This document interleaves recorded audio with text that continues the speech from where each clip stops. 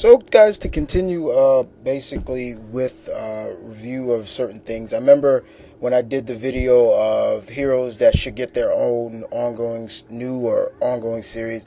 I saw a lot of people respond with the Sentinel of the Spaceways, of course, uh, Silver Surfer, and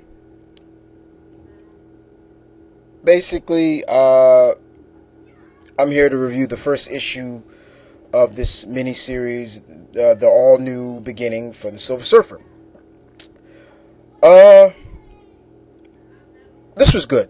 This was really good. Um, for all those who are looking for a good Silver Surfer story, standalone story by himself, this was really good. Uh, it was written by Greg Pak, the you know the the man that brought the likes of Planet Hulk and is still rocking great on Hulk now. Um, the artist was um, artist is Stephen uh, Segorva. I'm I'm so bad with uh, names like this. Segova. I hope I'm saying his name right. Uh, the first issue brings basically Surfer back to Earth. You know, it seems like no matter how far Surfer goes, he can travel all over the universe. He always comes back to a world that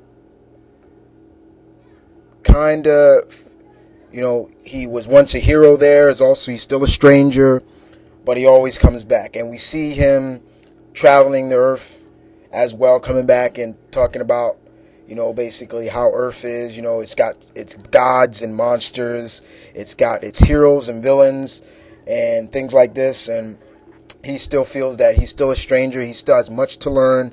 How the power cosmic he can feel everything. You know, there's like, uh, for example, there's a scene in the in the book where he's near the, I guess the borderline of Mexico and the United States, and he, he sees a couple, and and he basically says the power cosmic allows me to sense and feel, sense their every sing, single sensation of love in their body.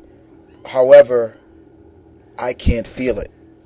It's almost like basically he's saying that, you know, with all the godlike powers that Surfer possesses, Norrin Radd, he can't really feel like he used to anymore.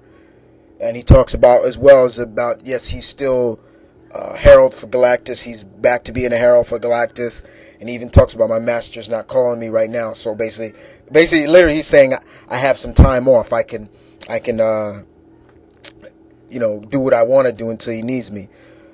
Uh, but once again, I think this is another plea, another thing for Marvel doing.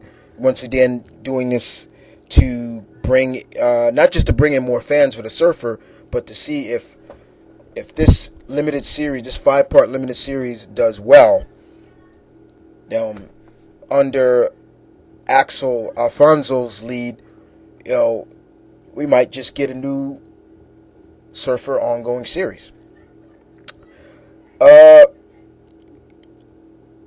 the, the, the, it didn't have really too many big, like, known ca- characters except one, and I really don't want to spoil it, but let's just say, uh, let's just say this character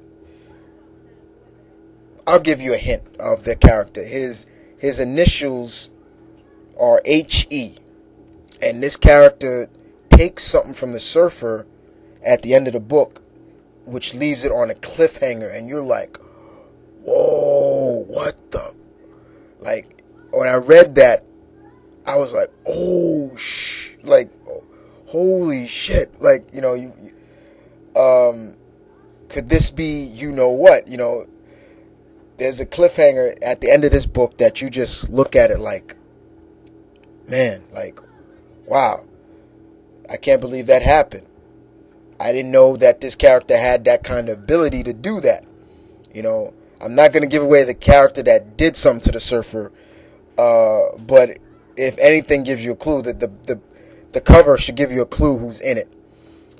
But it was a really good, very good. I was really looking forward to this when I heard that they were bringing out Surfer again. I'm a big Surfer fan. I love Surfer. uh, and to see him back in the limelight is good for me. Uh, so I give this a very good out of out of five. I give this a, a five out of five actually. Uh, it was really good. Uh, very good, good storytelling. Greg Pak did a very good job at writing Surfer.